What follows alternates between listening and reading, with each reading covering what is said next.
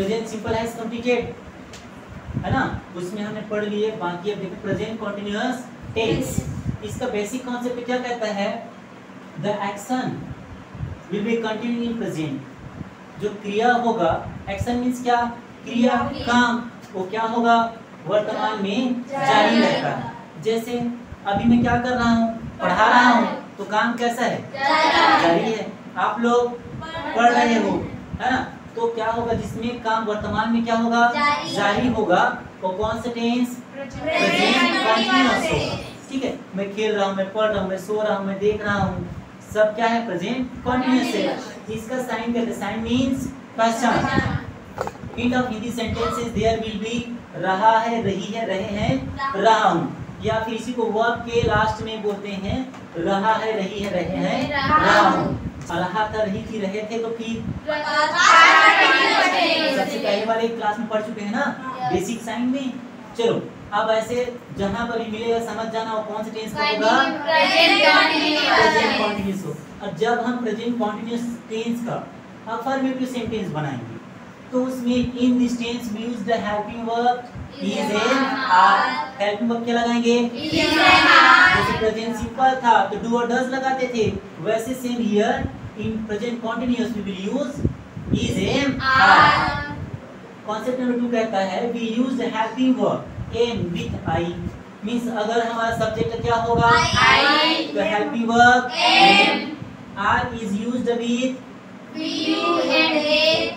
we you and They. Means अगर हमारा subject we you they होगा तो Are. आर और third person singular subject he she it a name with we Is. Means he she it और कोई भी एक नाम होगा तो हम क्या लगाएँगे?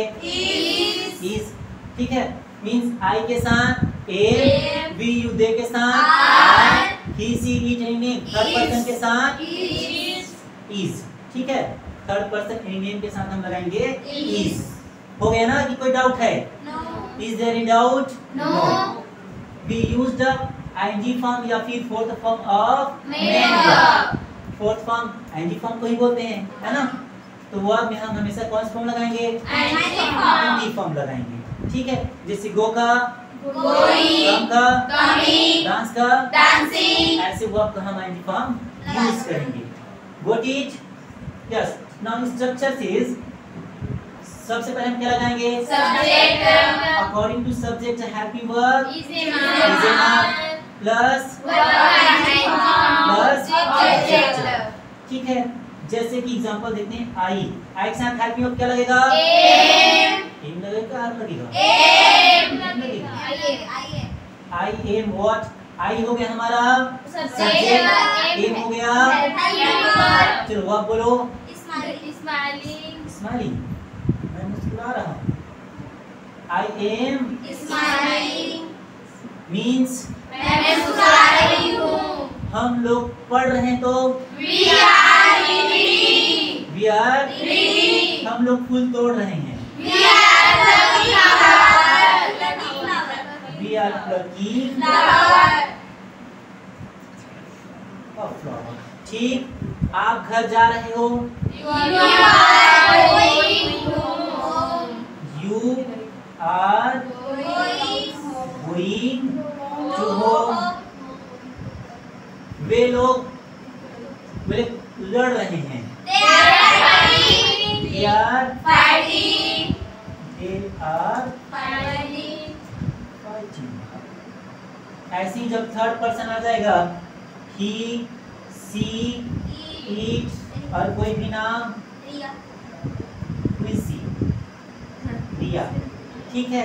सबके साथ हैप्पी वर्ब क्या आएगा? इज़ ठीक है वर्ब बोलो चलो। He is asking. He is asking means? वह पूछता वह पूछ रहा है। She is cooking food. वो खाना बना रही है it is flying. यह यह उड़ रहा है। रिया is? Missing मिसिंग चलो। याद कर रही है। रिया क्या कर रही है? याद कर रही है। याद कर रही है। तो यहाँ पर हमारा देखो रूल जो यहाँ पर कॉन्सेप्ट वो क्या कहता है कि अगर हमारा सब्जेक्ट क्या होगा? तो helping verb we you they होगा तो द प्लूरल सब्जेक्ट होगा। कौन सा सब्जेक्ट तो क्या लगाएँगे? और थर्ड पर्सन सिंगुलर सब्जेक्ट होगा तो जैसे कि राम खेल रहा है और श्याम देख रहा है। तो कैसे बनेगा? Ram is playing and Shyam is और राम और श्याम खेल रहे हैं तो फिर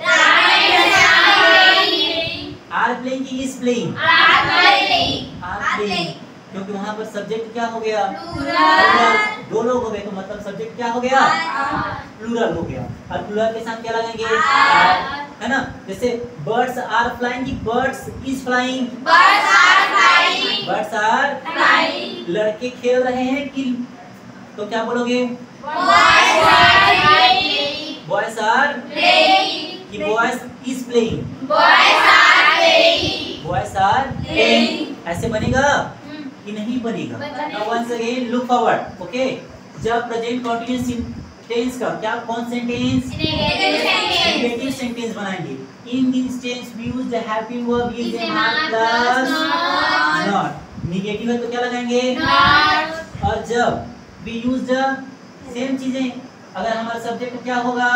आई तो helping verb am we you they तो are third person singular subject he she name होगा तो इज़ होगा। ठीक है? का. स्ट्रक्चर क्या बनेगा बच्चों लोग?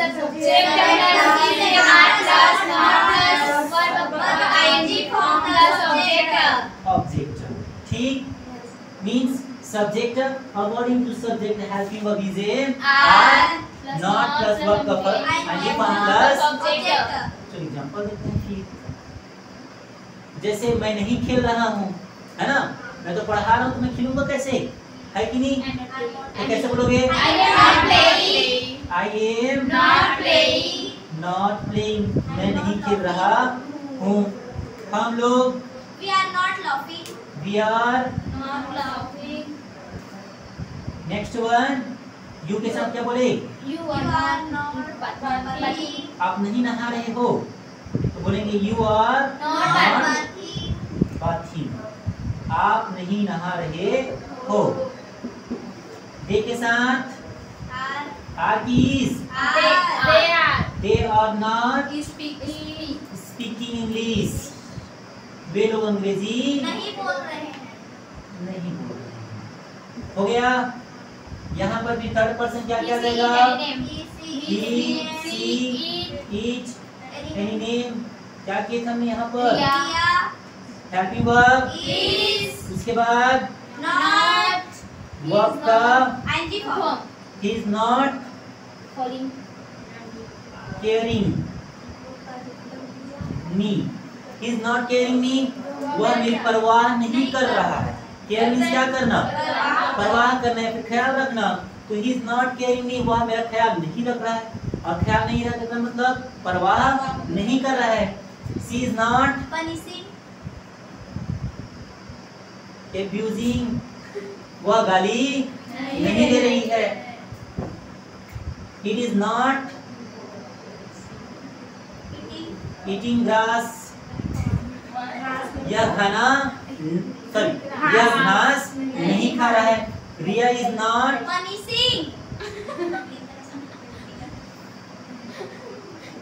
Punishing Riya सजा नहीं नहीं दे रही है। ठीक है। तो बस यहाँ पर क्या सेम चीज़ें हैं? बस हेल्पिंग वर्ब के पास क्या लगाना हमें? नॉट बन गया कौन सेंटेंस जैसे मैं खेल रहा हूँ तो I am playing I am playing और मैं नहीं खेल रहा हूँ तो मैं जा रहा हूँ तो मैं नहीं जा रहा तो मैं पढ़ा रहा हूँ तो और मैं नहीं पढ़ा तो मैं सो रहा हूँ. मैं नहीं सो रहा हूँ. Got it? Same here. We are laughing. हम लोग हंस रहे हैं और we are not laughing. हम लोग नहीं हंस रहे हैं. वे लोग नहा रहे हैं वे लोग नहीं नहा रहे फिर तुम बात कर रहे हो. और तुम बात नहीं कर रहे हो ही सी नेम के साथ. जैसे he is not caring me वह मेरी परवाह नहीं कर। रहा. और वह मेरी परवाह कर तो. सेम हियर इज़ अब्यूजिंग वह गाली. और वह गाली नहीं दे रही तो. हो जाएगा। है ना? अब यहाँ पर प्लूरल फॉर्म जैसे कि रिया एंड राधा इज़ की आर. आर दो हो गए। है ना? Riya and Radha are dancing नाच रहे हैं और नहीं नाच रहे हैं तो फिर.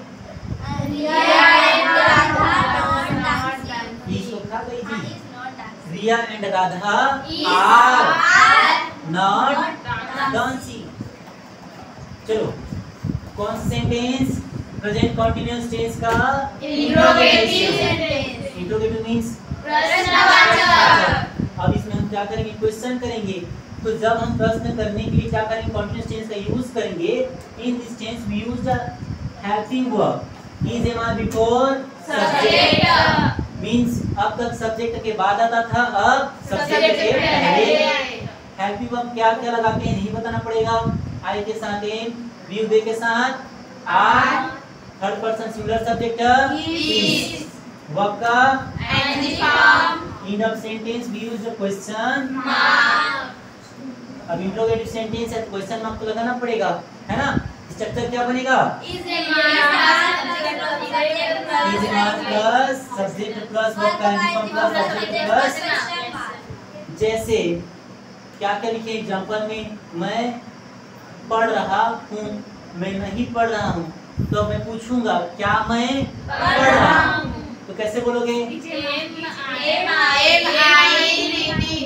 अब हमारा सब्जेक्ट है मैं मींस आई तो आई के साथ एम क्या कहता है हेल्पिंग वर्ब सब्जेक्ट के पहले तो एम आई एम आई क्या मैं क्या हम सीख रहे हैं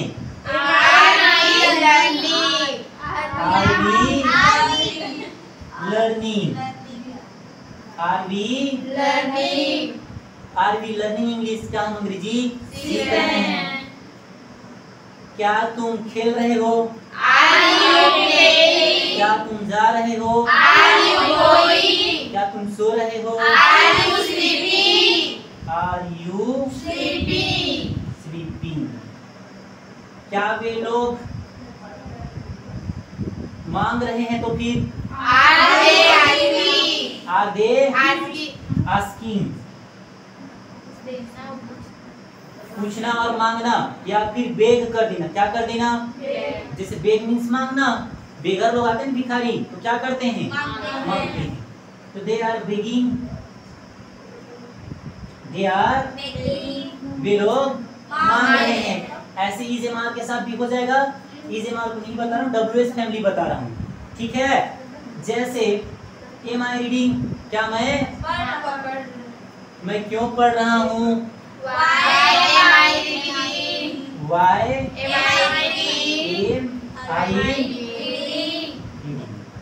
ठीक है तो एक चीज़ याद रखना हेल्पिंग वर्ब के पहले क्या आता है?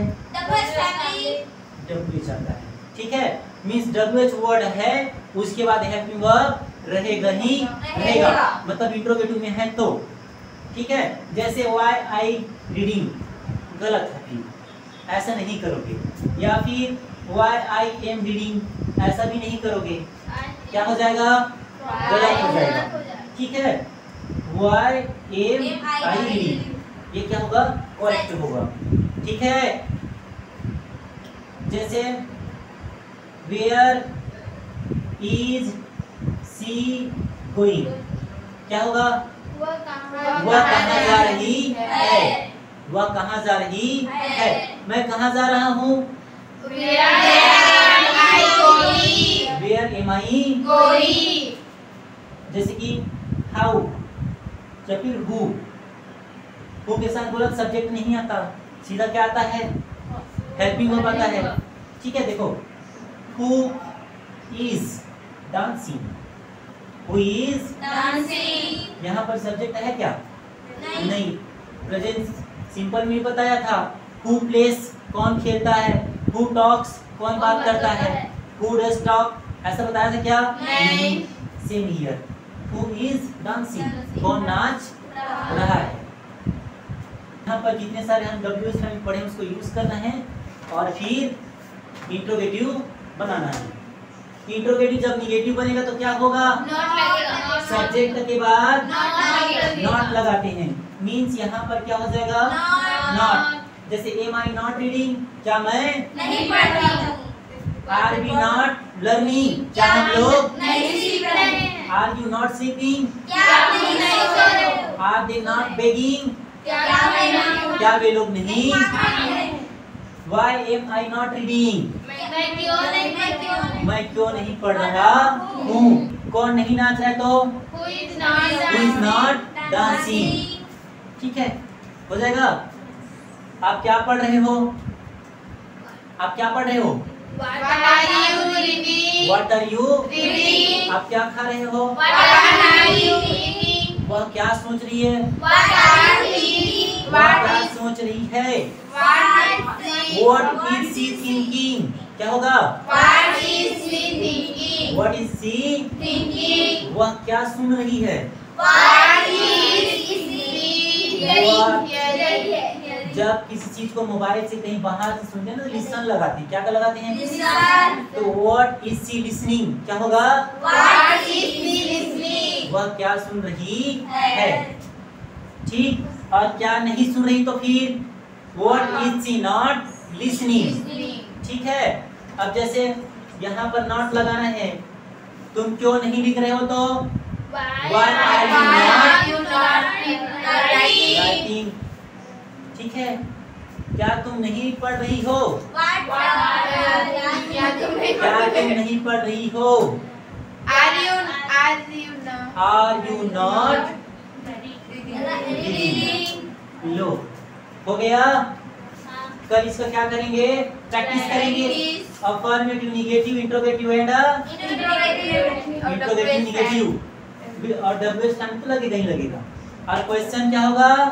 रिपीट फायर एकदम तेज वाला तो get ready for that okay बच्चे लोग? Yes okay now you may go Go.